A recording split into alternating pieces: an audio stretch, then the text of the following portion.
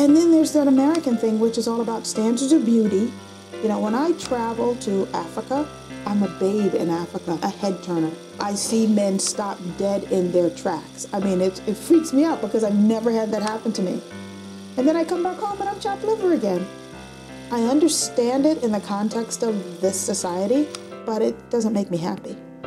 Um, that because I'm educated and because I have a good job, my universe of opportunities has shrunk to be so small.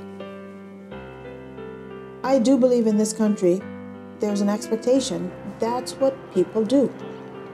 They grow up, they get married, they have children.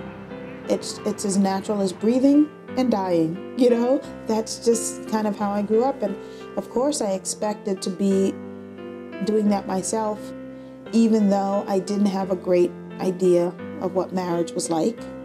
Um, I loved kids. I always thought I would be a mother. And so I just kind of assumed.